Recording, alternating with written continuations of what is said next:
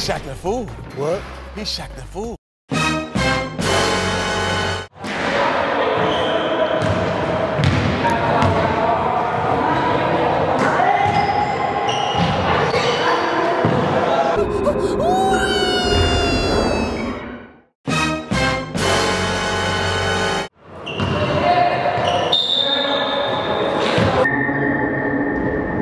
Again at this replay, the angle at which Sterling deflects the ball off his.